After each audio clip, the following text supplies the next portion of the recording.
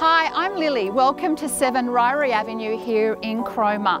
This beautiful level block of land sits on 740 square metres, ideal to build your dream home or to renovate.